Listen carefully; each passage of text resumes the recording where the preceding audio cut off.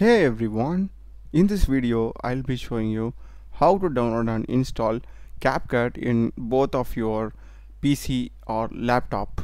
So let's get started.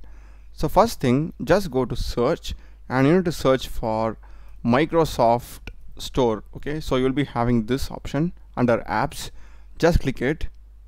Or in most of the cases you'll be having the Microsoft Store icon also in the taskbar. So you can just double click on that too just search for CapCut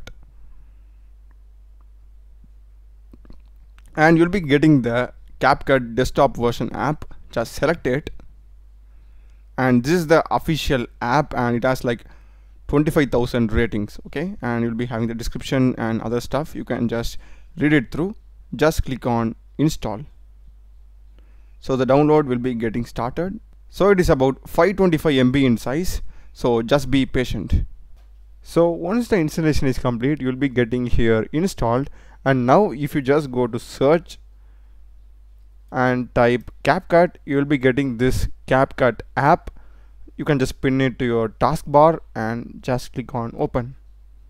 And you'll be getting this environment testing thing. Just it will verify if CapCut can run on your system. So once all the verification is done you will be getting your computer can run CapCut smoothly so you can just click on confirm and that's it. You'll be getting the CapCut interface.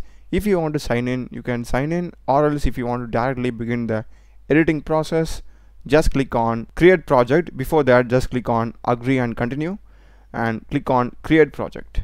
This is the interface that you get inside CapCut for editing your videos. I hope you have found this video useful. Do check the playlist of my channel. Done a lot of videos in programming and AI tools subscribe me. Thanks for watching